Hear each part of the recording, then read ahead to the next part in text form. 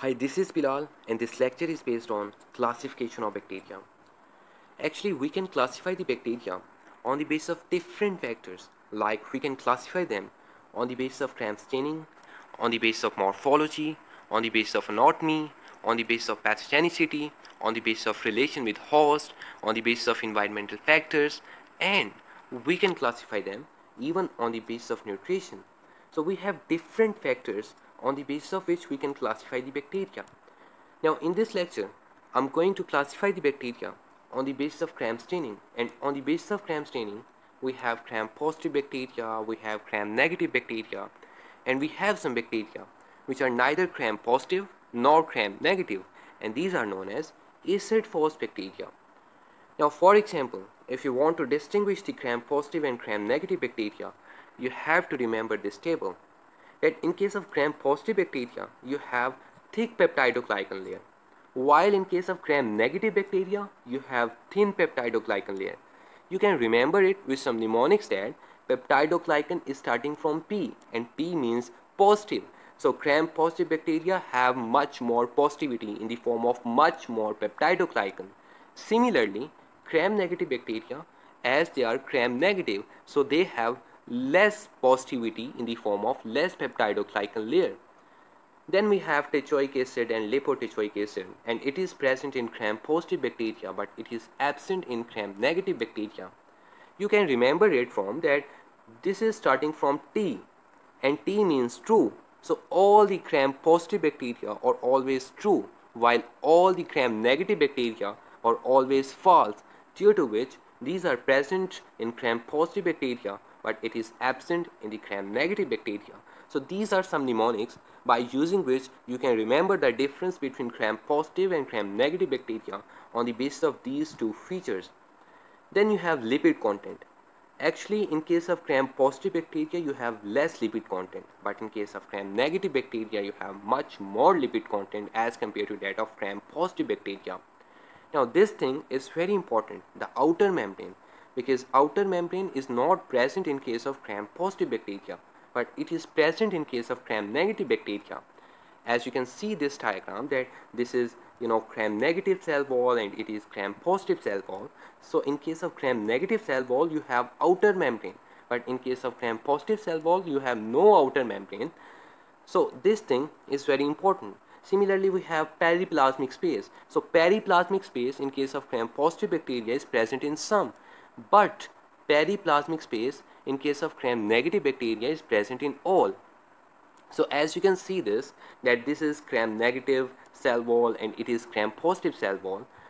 So actually periplasmic space means that it is space in between the outer membrane and the inner membrane. Or you can say that it is space in between the outer membrane or the cytoplasmic membrane. So basically it is space as you know that in case of gram-negative bacteria, we have outer membrane due to which we have some certain space in between the outer membrane and the inner membrane or the cytoplasmic membrane due to which we have periplasmic space in case of gram-negative bacteria. But in case of gram-positive bacteria, you don't have any outer membrane. Then how can you expect that periplasmic space in case of gram-positive bacteria? So that is why periplasmic space in case of gram-positive bacteria is present in some but periplasmic space in case of gram-negative bacteria is present in all. Similarly, if you are talking about this permeability, then gram-positive bacteria are much more permeable as compared to that of gram-negative bacteria.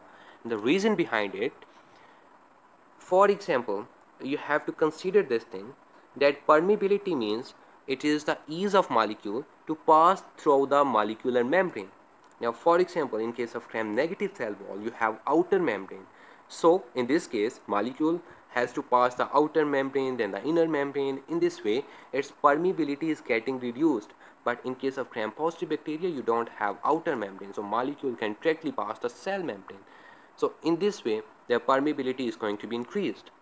Then we have another factor which is you know the factor of crystal violet that gram positive bacteria are retaining the crystal violet but gram negative bacteria are not retaining the crystal violet Actually, this thing is very important because we are going to classify the gram positive and gram negative bacteria on the basis of staining. And in staining we are using different dyes in which we are using crystal violet. So these gram positive bacteria will retain the crystal violet but these gram negative bacteria will not retain the crystal violet and then we have to treat the gram negative bacteria with a counter stain which is known as safranin and they are retaining safranin because of which they are giving pink color under the microscope but gram positive bacteria are giving purple color under the microscope because they are retaining this crystal violet. Similarly, if you are talking about the examples of gram-positive and gram-negative bacteria, then in case of gram-positive bacteria, you have Staphylococcus, Streptococcus, Bacillus, Clostridium. But in case of gram-negative bacteria, you have Escherichia coli, you have Neisseria, you have Proteus, you have Salmonella, Shigella, and many other bacteria which are coming under the gram-negative bacteria. So this is what the detailed difference between the gram-positive and gram-negative bacteria. Then we have acid fast bacteria because those bacteria which are neither gram positive nor gram negative and these are known as acid fast bacteria. These acid fast bacteria actually containing 60% lipid layer. And these are containing mycolic acid. And for observing the acid fast bacteria you have to do the acid fast staining. Actually these acid fast bacteria are much more similar to the gram positive bacteria. So if you are discussing the examples of acid fast bacteria then you have many examples like you have mycobacterium. And in case of mycobacterium you have many species of mycobacterium like mycobacterium bovis mycobacterium canine and many important species which is very important in case of humans. It is known as mycobacterium tuberculosis because that mycobacterium tuberculosis is affecting the lungs and causing TB Similarly, as you can see, this is the cell wall of acid fast bacteria which are containing that teichoic acid, which are containing that peptidoglycan, which is also present in gram-positive bacteria. But with this, the unique thing in, in that acid fast bacteria is that they are containing mycolic acid and this mycolic acid is unique in case of acid fast bacteria. So this is all about the basic difference between the gram positive bacteria, gram negative bacteria and the acid fast bacteria.